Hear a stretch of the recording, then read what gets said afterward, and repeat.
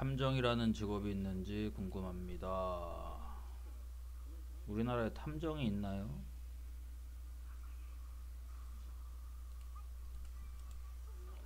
국가가 관리하고 감독하는 공인 탐정 제도 2017년 기준 일본 전역에 5,200여 개의 탐정 사무소가 있고 약 3만여 명이 탐정 일을 하고 있다.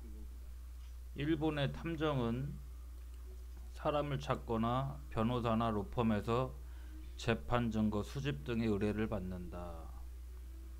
예, 경시청에 감독 감독하여 합법적으로 운영되는 정보 서비스를 제공한다고 하는데요.